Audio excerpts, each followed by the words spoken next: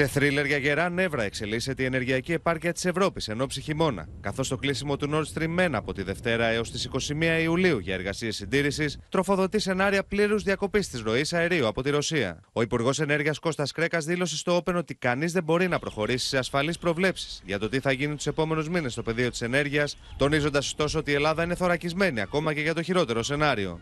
Βλέπετε ότι θα έχουμε πρόβλημα με την ενέργεια το χειμώνα, κύριε Σκρέκα; Είναι κάτι το οποίο δεν μπορεί να το, να το πει κανείς. Έχουμε έναν πόλεμο, κανείς δεν ξέρει τι θα συμβεί.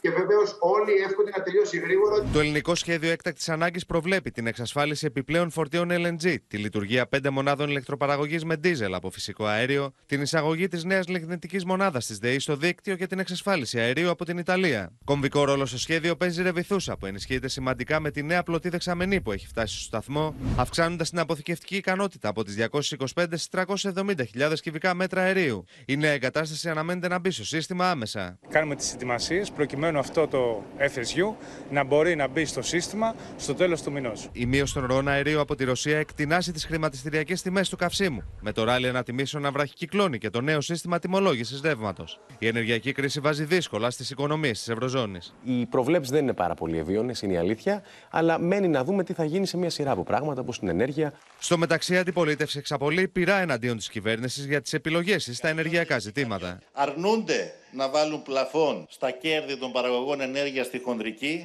με πρωταγωνιστή σε αυτή την εσκροκέρδεια την δημόσια επιχείρηση ηλεκτρισμού. Σύμφωνα με τα επίσημα στοιχεία, περισσότερα από 4 στα 10 νοικοκυριά δηλώνουν πως το μηνιαίο εισόδημα δεν επαρκεί για το μήνα. Τα πολυδιαφημιζόμενα λοιπόν μέτρα για την άμβληση των οικονομικών συνεπειών της ενεργειακής κρίσης βαφτίστηκαν λανθασμένες εκτιμήσεις και πλέον είναι στον αέρα. Γι' αυτό λοιπόν η δική μας άποψη είναι καθαρή πλαφών στη λιανική τιμή της ενέργειας.